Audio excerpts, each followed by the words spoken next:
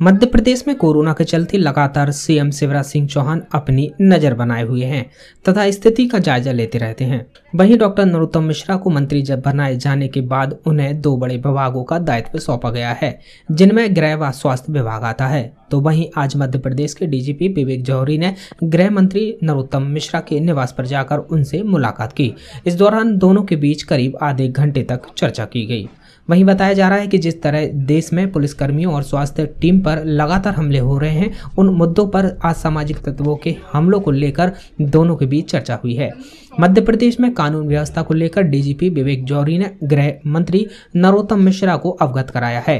गृह मंत्री डॉक्टर नरोत्तम मिश्रा ने कोरोना जैसी महामारी के समय में अपनी ज़िम्मेदारी निभाते हुए डॉक्टर और पुलिसकर्मियों के साथ हो रहे अभद्रता के मामले में कड़ी कार्रवाई करने के भी निर्देश दिए हैं। वहीं मध्य प्रदेश के श्योपुर में डॉक्टर तथा पुलिसकर्मी पर हुए हमले की कड़ी निंदा करते हुए कहा कि ऐसे असामाजिक तत्वों पर सख्त कार्रवाई की जाएगी।